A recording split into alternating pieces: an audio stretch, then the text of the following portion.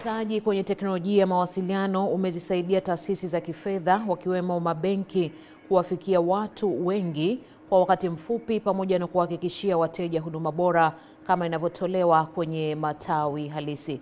Mkurugenzi mtendaji wa NCBA Benki Tanzania Limited Julius Konyani amebainisha hayo wakati akizungumza kwenye ufunguzi wa wiki ya huduma kwa wateja jijini Dar es Salaam na kusema licha ya benki hiyo kuwa na matawi katika mikoa ya Dar es Salaam, Zanzibar, Mwanza na Arusha, pia imefanikiwa kuwafikia watu wapatao milioni nane nchini kote.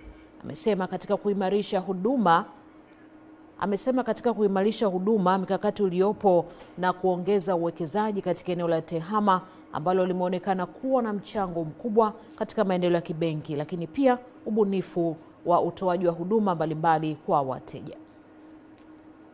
Misheni kubwa yetu tunasema tuna inspire greatness.